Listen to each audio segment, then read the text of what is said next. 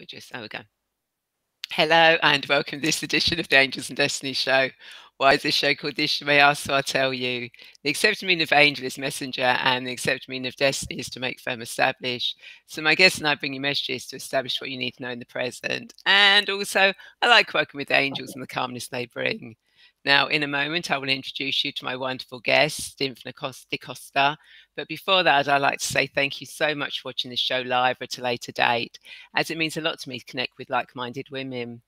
If you've never met before, then my name is Rae, and I love to help women to crossroads in their life, heal their paths, create their future, and transform their present so they can take charge of their destiny in the here and now.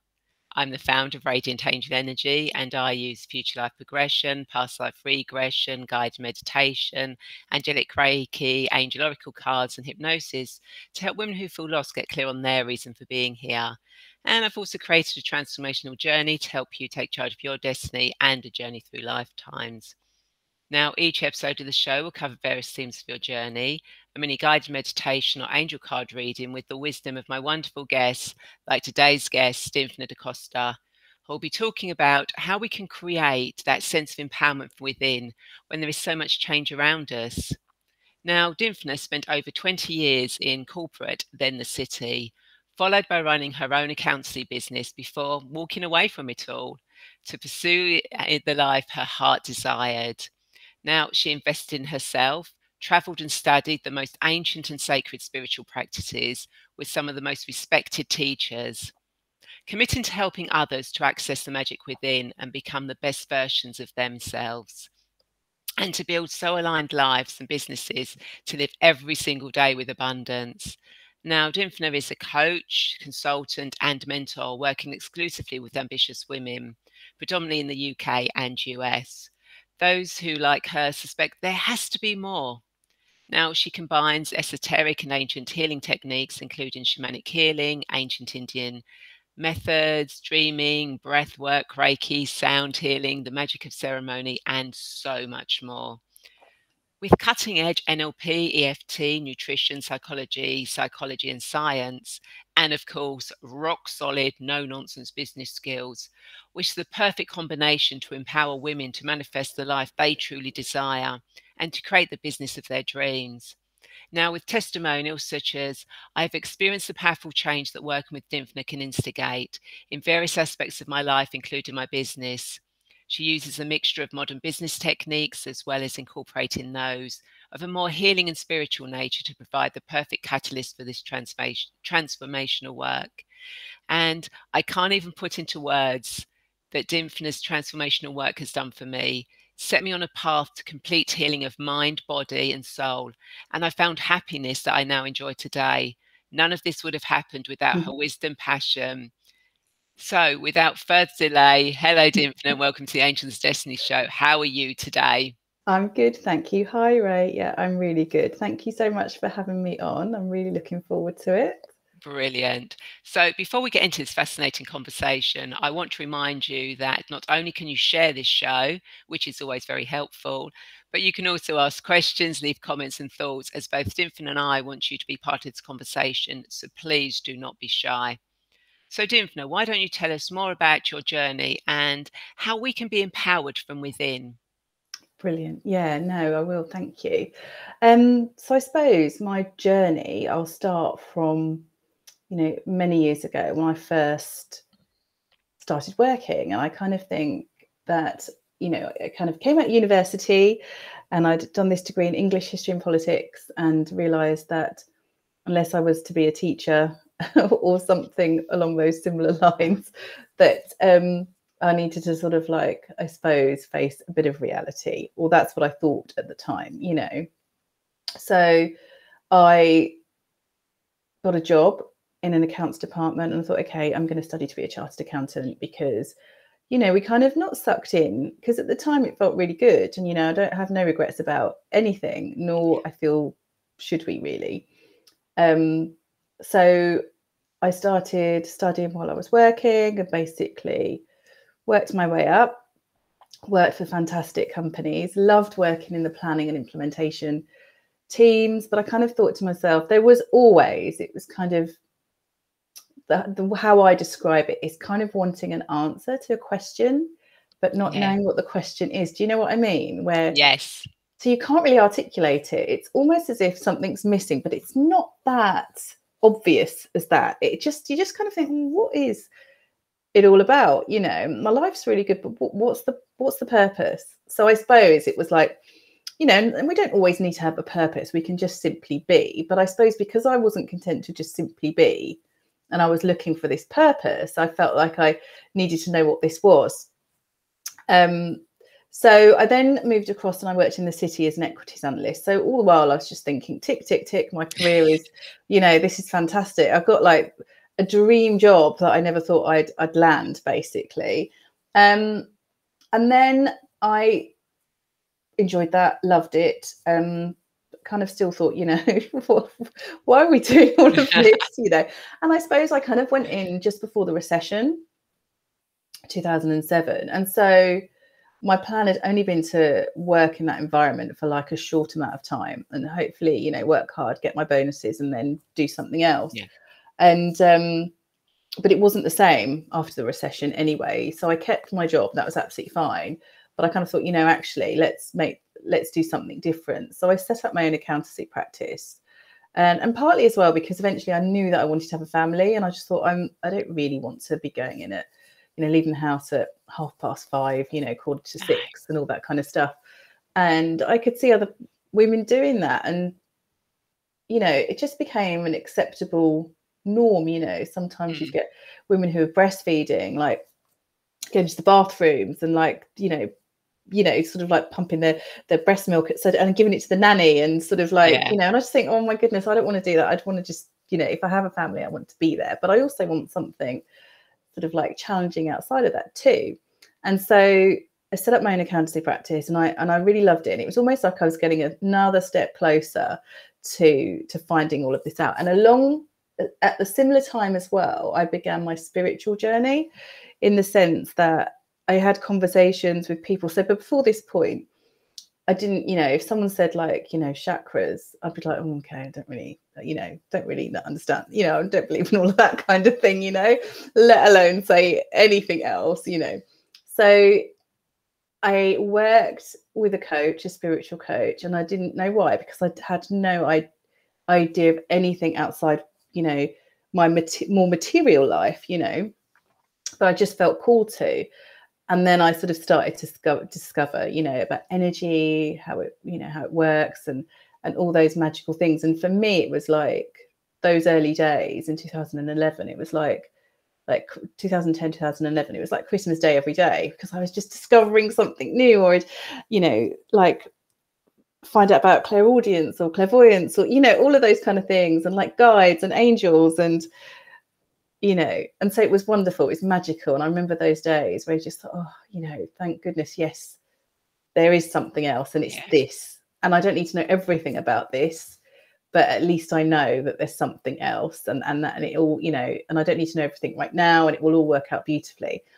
And just also learned to follow my instinct, that intuition, and have trust and faith as well. So it was sort of all these magical external things like you know gifts and guides but also then an understanding of myself and think okay you know i trust myself i know that you know i'm i don't need to know the answer but i need you know i know the next step on my journey and the next step after you know this and i'll know the next step after that and i don't need to know everything right now and also you know about manifestation and creation and that type of thing so um i carried on with my accountancy practice whilst I also developed, went on my spiritual journey and I just learned, I just relearn, I remembered things from before. I worked with people that I was drawn to. So, you know, I had, a, I had a couple of fantastic, fantastic Reiki master teachers, and I worked with a um, a rescue medium, and you know all of these types of things. And then I also did my shamanic practitioner training, which took a few years, and I had mm. to had to undergo all the different initiations, which you know, and I think for me it's that balance. So all along that spiritual journey, it's that balance of understanding self um, you know, the shadow, the ego, the balance between the masculine and the feminine, the inner child, all of that type of, you know, understanding myself yeah. better. And then the external as well. So, like I've mentioned, you know, our guides, our ancestors, you know, all the magical things we can tap into and all that kind of stuff. And um, I had a little girl and I had her later on. So, and I waited, I sort of was continuing all my learning and, you know, training and talking to different people and just like filling up my toolkit. And then when she started school, I sort of started, um, you know, talking about this. And I had a few clients, you know, coaching clients, but I never advertised prior to that. And so I sort of thought, I'm going all out and um, going to start marketing it, talking about it, and, you know, doing, you know, e courses, planning retreats, all that type of thing which I had done before, but it was very sort of on the quiet because I didn't, yeah. you know, I had a little girl and I wanted to spend time with her. So it was when I chose to do things like that because I also had my accountancy practice. So um yeah, and then that was in 2019. So everything was crystallizing, and then COVID came along. And surprisingly, though, when it came along, I thought, okay, it's fine because I'll just sort of prepare things in the background. I'll write my e courses or I'll plan you know what I'm going to do. But it, I actually ended up being really busy and women approaching me and asking to work with me because of all the connections I'd made and you know I suppose the networking I'd done. Um, so I have been really busy. So working like one to one, and I've got e-courses and things like that. So, but now I suppose as we're coming out of this, you know, it's getting that clarity sort of you know okay i'm going to work on a one-to-one basis i'm going to have e-courses i'm going to work do group work and i'm planning retreats so you know so it's it's been really good and i've been really busy so that's great um so i suppose that's my journey in it's, a nutshell. it's it's a busy journey. It um, and then to, you know obviously it wasn't a it wasn't a quick journey it, it was quite a, a prolonged journey really.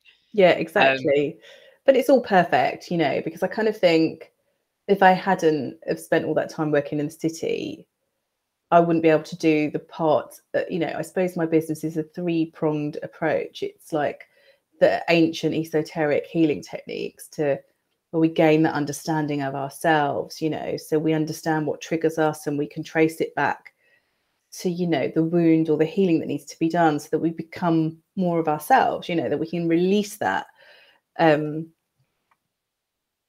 so you know i suppose for example if someone thinks oh i don't i'm not confident to do this well where's that feeling coming from?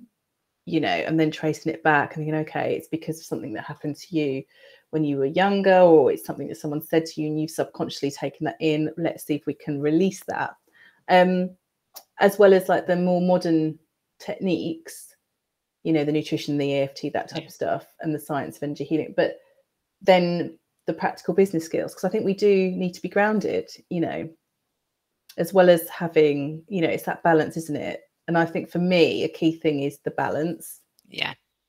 Yeah, yeah, it's it's, to- it's totally got got to be a balance. Grounding is such a big thing as well. I mean, people that know me, my clients always go, "Oh, you always talk about ground," and it's like, yeah, that is the most important thing. I know people think yeah it, it's great to sort of like be up here and yeah. you know doing this spiritual work doing that so, unless you're grounded and bring it into reality here you're not going to be helping people down here because they won't get it yes and that's that is the thing but i do feel that people more and more and i don't know if, i mean i'm sh- i'd love to know what you think about this as well that people are becoming more and more open even you know even in a business sense people want to we say shamanic, but that, that understanding of self, what's stopping, what's the difference between someone that succeeds in, in the way they want to and another person that doesn't? And it's, there's no, you know, with, they've got a similar skill set. What's the difference? And that's like that inner work that we need to do in order to then be able to tap into that.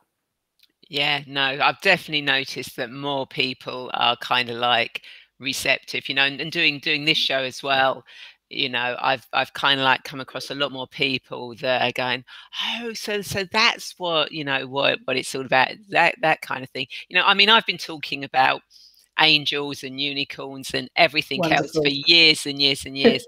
and I and you know, and I've never cared who I've I've I've spoken to. You know, I've, I've you know I've I've been been in places where I've started talking about it. You know, and you can see that someone's sort of like going, you know, and that, but I've, it's never it's never worried me, and I've never really had any negativity back from it. But I think that's probably because I was so passionate about it that yeah. if there was, I wouldn't have noticed it. Um, but I do know when um, I first started working with with clients, they would say, oh, "I don't really talk about it because I get these really negative comments," and I'm thinking, "I've never got negative comments." No. But but it's changed and more and more people now especially my clients are able to talk about it in you know corporate businesses yeah. um, and everything you know i do future life progression you know and that's going into business now you know ceos are using it mm. to um, you know for to see whether they're going to employ people what the business trends are to yeah, be ahead of their competitors so it's starting to get into everywhere now, which is absolutely brilliant. Yeah, I'm absolutely yeah. Future life, I can see that definitely. Like you know, and I think it's good that people are starting to tap into that part of themselves, mm. enabling themselves to be able to see where they're going to be, and also it gives that sense of confidence, doesn't it?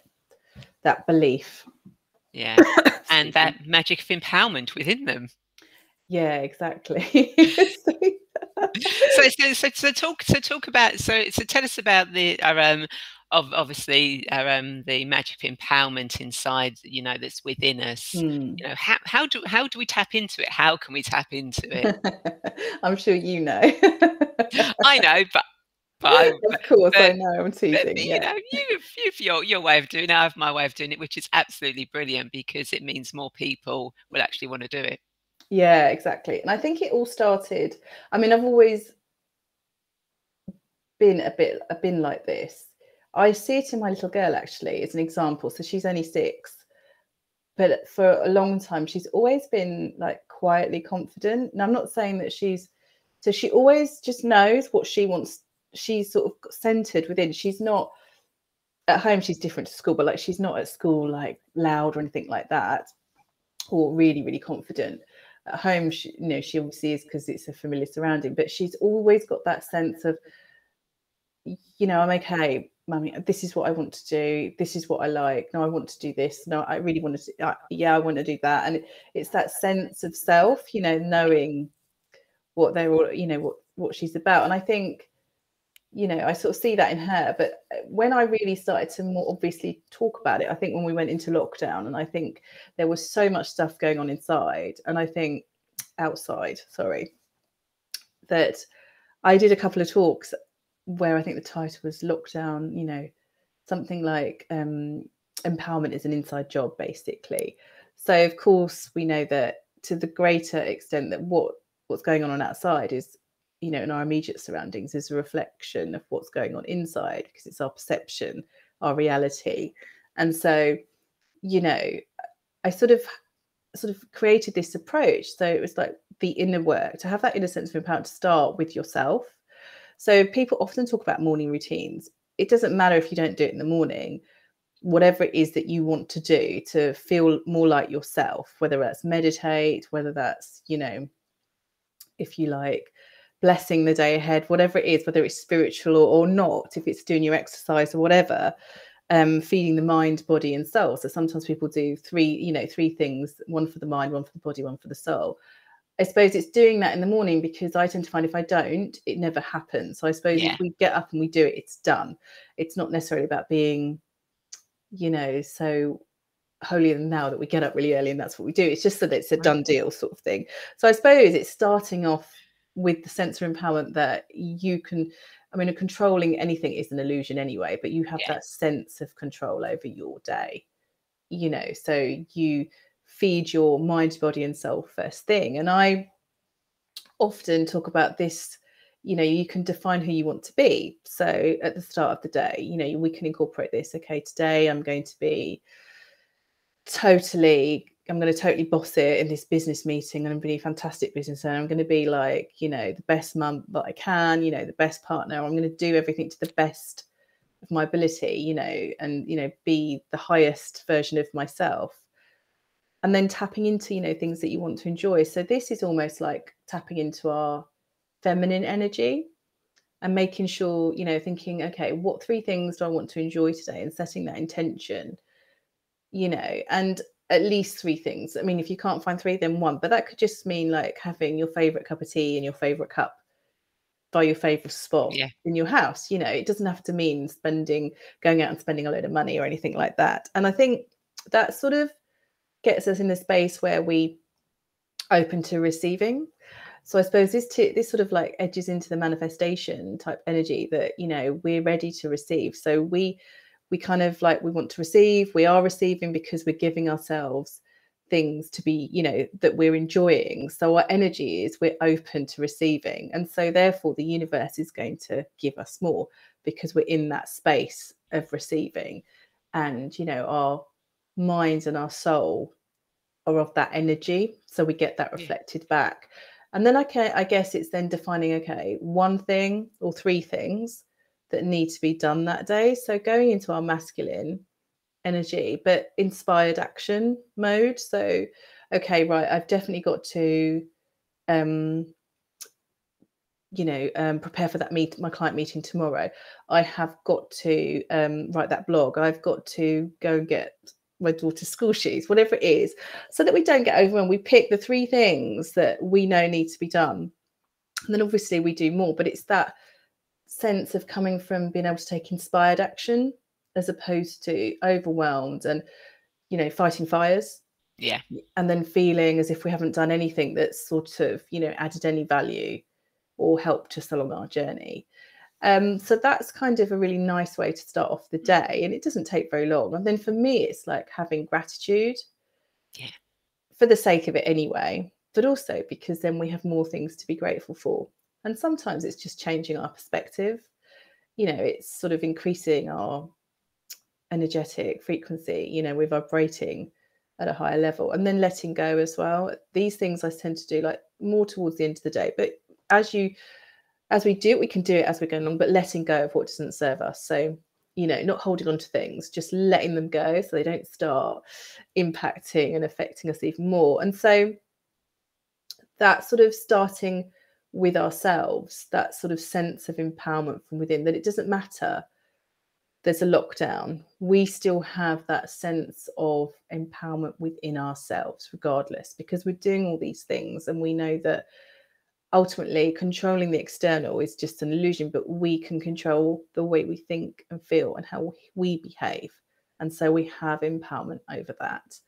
And then we can sort of like go to our family and then the next layer out the local community and then doing stuff for the environment you know but starting from within. And i heard a wonderful quote uh, from someone recently and they said you know how we treat our bodies is actually how we're treating the environment and it's Yeah. quite an interesting and i thought "Hmm, is it and i thought about it and i thought well yeah because if we don't respect our bodies and we're you know perhaps not eating well or not ex doing these things that we need Yeah. to do then how are we going to look after the environment Yeah. it's kind of it's quite a- i did sort of i did sort of have a little think like, okay what do i feel about that um but yes that's it basically that's having that sense of empowerment from within so Yeah, that's that's that's beautiful. uh, Yeah, and and it is kind of like a routine, but it doesn't have to be a routine no um, of, on on on a daily basis, which I think is absolutely brilliant.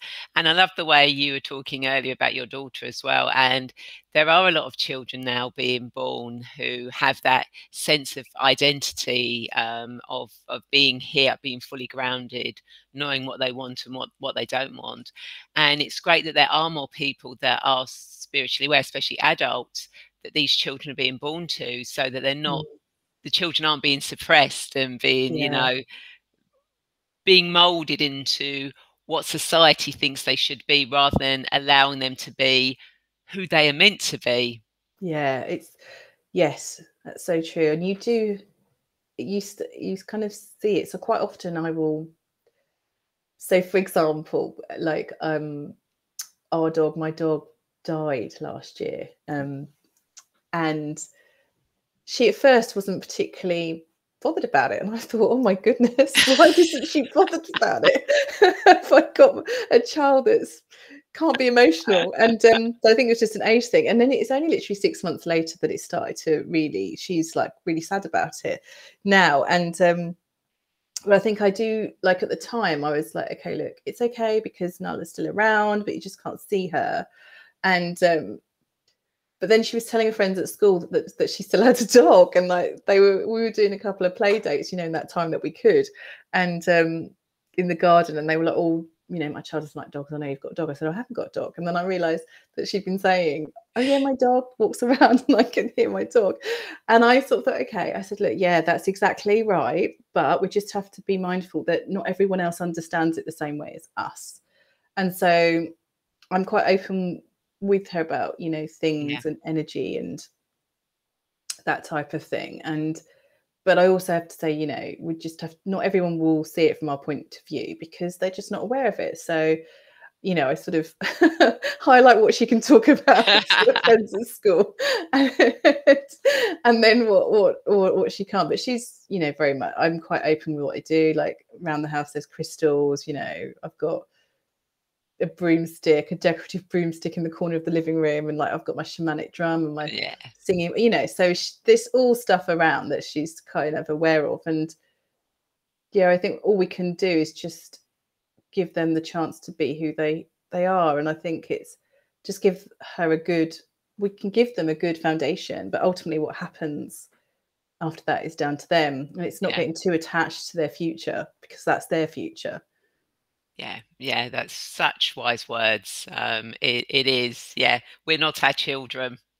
No, and I think uh, many people, you know, I think, uh, you know, when I think look back to my childhood, my mum, you know, I think it's changing. People mm. are, you know, becoming. It's a different way of.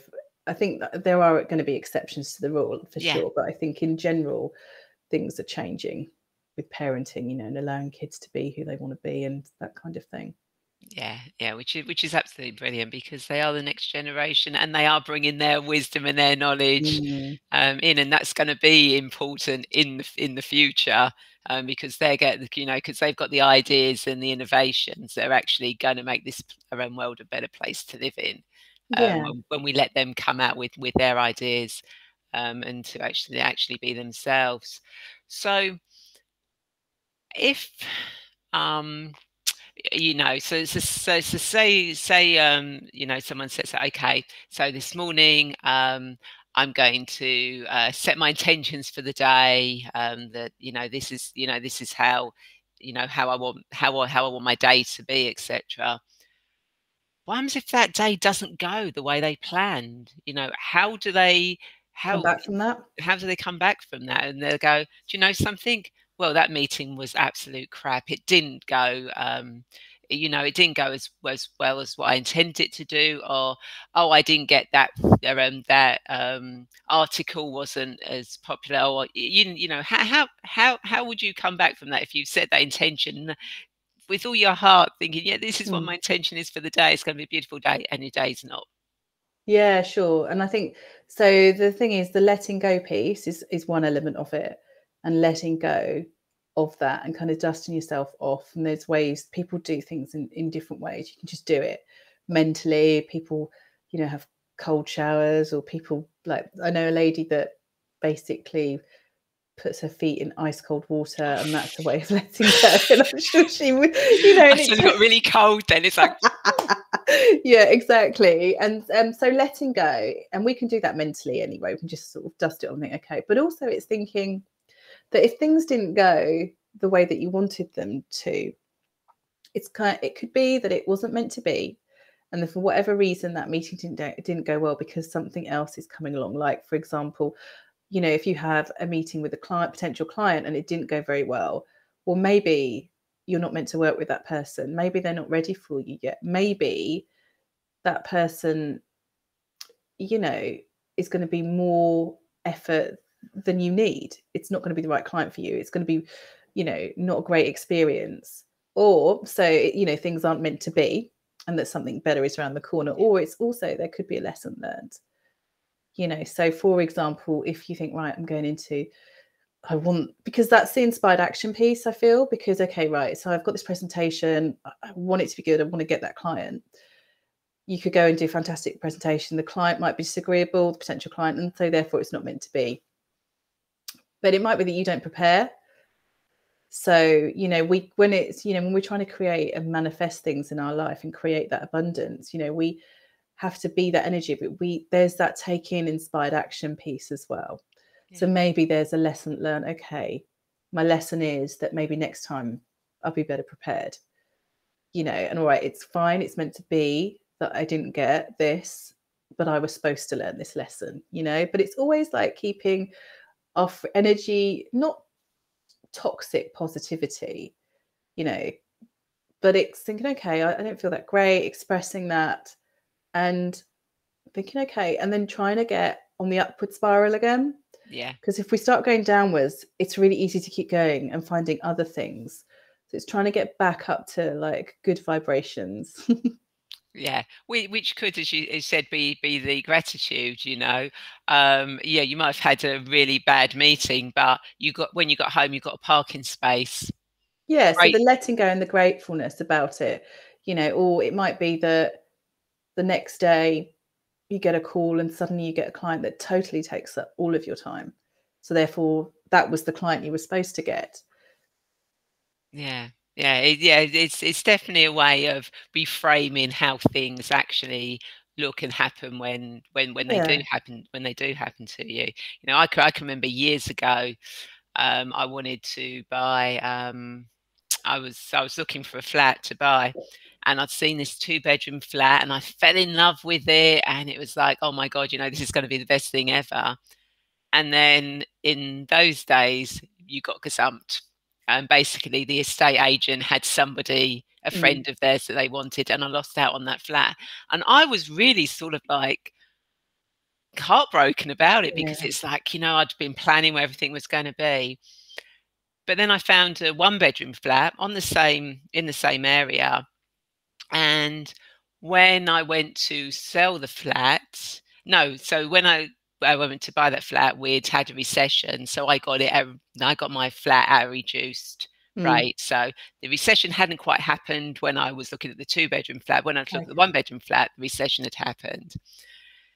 And when I went to sell the flat, it actually made more for me than the two bedroom would have done. Brilliant. Yeah. And that, you know, and that was I wasn't meant. There was a reason why I didn't get that two two mm. bed two bedroom flat because in the long term, I wouldn't have I wouldn't have um, you know made made the money to be able to buy a house. Mm, exactly, and that's the thing, isn't it? Especially with things like buying with um, the housing market, that sometimes that is the only way you can look at it because you get so emotionally involved in it. It's a lot of emotions because it's where you're going to live. You imagine living there, where you're going to put things um, but that's definitely a good definitely a good pr- approach for sure yeah definitely and you can you can do that with every area of your life even if it doesn't feel like it at the time. Yeah exactly right and that is it isn't it? It's about sort of deciding that's how you're going to do things and you can kind of see how freeing it's going to be for you because then we don't waste our like precious energy and all the negative feelings and emotions we can move on and, and sort of continue on our journey you know, of course, we have to feel those feelings, otherwise, we're not going to be present.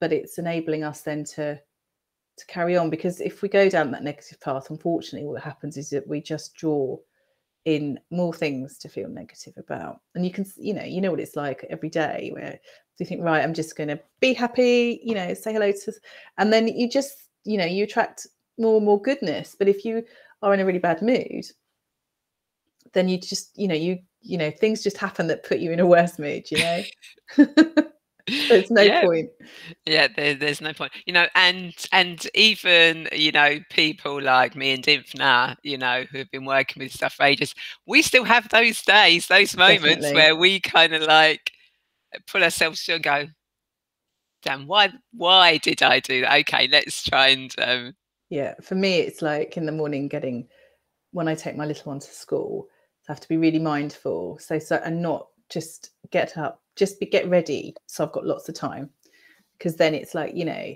you end up having not enough time they end up being really grumpy and then you just think well i don't want to be grumpy you know about all of this so yeah i do have to catch myself and think right yeah i've got to make sure i've got enough time to do what i need to do yeah yeah so yeah so even if you've been doing fruit spiritual stuff for a long long time it can you know we're human absolutely. Yeah absolutely. Yeah we, we're definitely human human human and we can relate.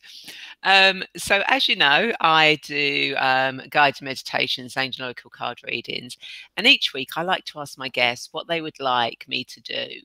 Um, so Dymphna, would you like me to do an angel oracle card reading or a guided meditation for you and those watching? I'd love a reading please why not? And funny enough, I have the cards right in front of me. How amazing is that?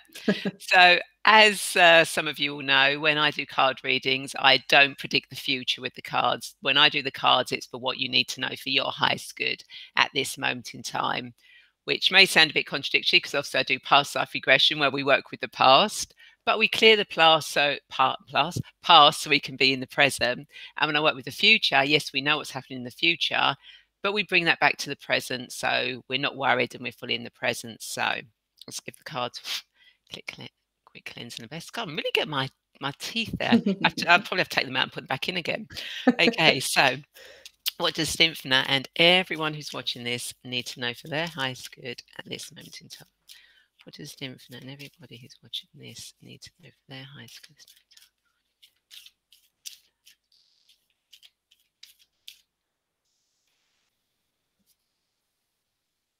Perfect. Infinite abundance. Abundance is pouring into your life. Wonderful. there we go. We couldn't have had a more perfect card. absolutely, um, absolutely perfect card.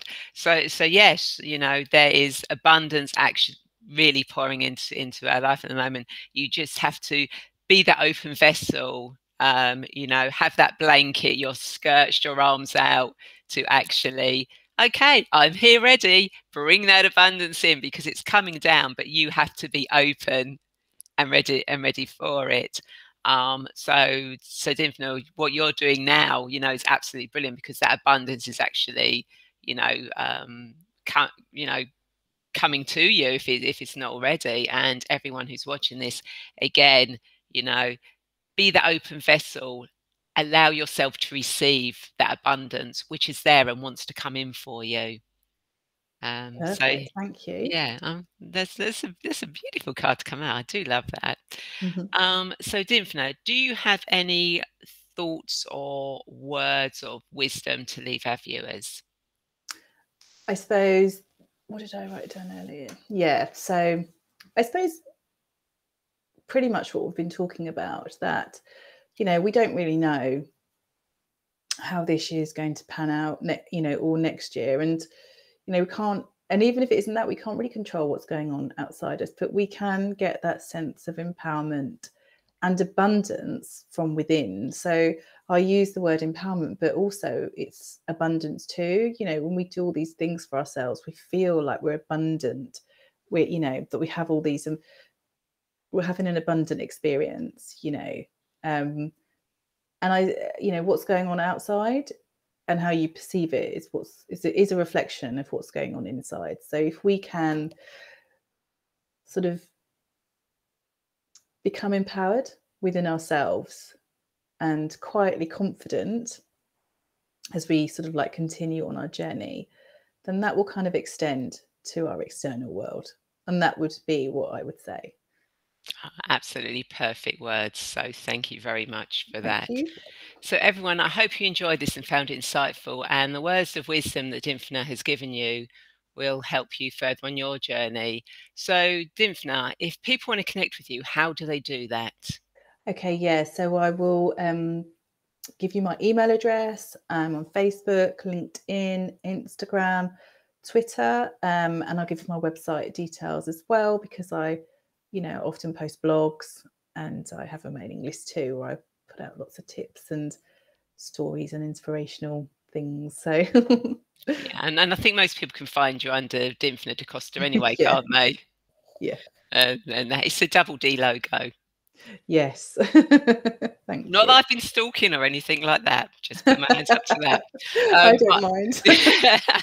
but I will put um, I will put all the um, links in the comments so that you can just literally click on on those links and go straight to um, any of uh, Dymphna's social media or contact details.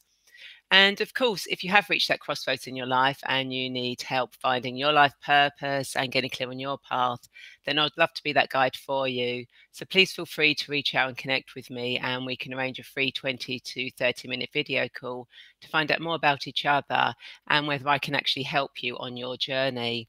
And of course, the Angel Wings membership community is there if you want to join, where you get a chance to grow with angels, ascended masters, archangels, gods, goddesses, angel oracle cards, and of course, the beautiful people within the um, membership to help you spread your wings and soar.